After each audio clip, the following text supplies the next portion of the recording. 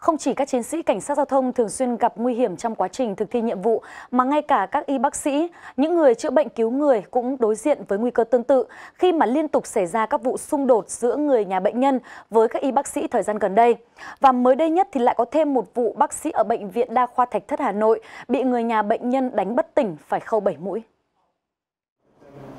Ngày 13 tháng 4, Bệnh viện Thạch Thất tiếp nhận một bệnh nhi và chẩn đoán điều trị viêm họng, tiêu chảy do virus, nhưng việc điều trị có ít tiến triển. Vì vậy, người nhà bệnh nhi đề nghị được chuyển bệnh nhân lên tuyến trên điều trị. Ngược lại, bác sĩ Lê Quang Dương, Phó trưởng khoa hồi sức cấp cứu của Bệnh viện Đa khoa Thạch Thất lại cho rằng tình trạng của bệnh nhân vẫn nằm trong tầm kiểm soát của bệnh viện, không cần thiết phải chuyển tuyến và đã giải thích điều này với người nhà của bệnh nhi. Tới trưa qua ngày 16 tháng 4 tại phòng hành chính của khoa Nhi Bệnh viện Thạch Thất, bác sĩ Dương đã đồng ý việc chuyển tuyến. Tuy nhiên khi bác sĩ này cúi xuống xem hồ sơ bệnh án thì bất ngờ bị bố của bệnh nhân dùng cốc đánh vào đầu.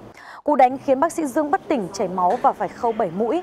Không dừng lại ở đó, người này còn tiếp tục dùng nhiều lời lẽ hăm dọa, thậm chí dọa giết các nhân viên trong kiếp trực. Sự việc chỉ dừng lại khi giám đốc bệnh viện cùng lực lượng công an có mặt và áp tải người hành hung bác sĩ về trụ sở công an. Hiện bác sĩ Dương đã tỉnh nhưng vẫn còn choáng nên được chỉ định theo dõi chấn thương sọ não và tạm nghỉ làm.